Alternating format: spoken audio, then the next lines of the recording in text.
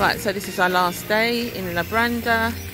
Um, it's a very good hotel, very clean, up to standard, loads of things to do, loads of things to eat. Room is very, very clean. I'd advise everyone to come here. There's no coronavirus here, as I said, very, very clean. I'm going to give a big shout out to David who recommended this place. Um, try it.